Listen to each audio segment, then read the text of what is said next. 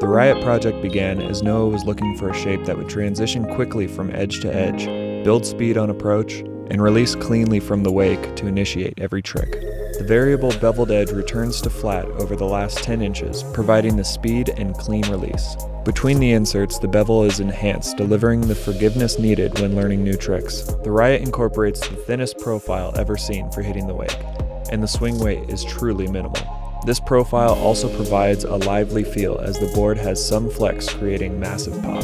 The dual concave underfoot assists with soft landings, transitioning to a single concave exiting the tip and tail, accomplishing the clean release. The Riot is offered in two constructions, NovaCore and Bio 3 Core.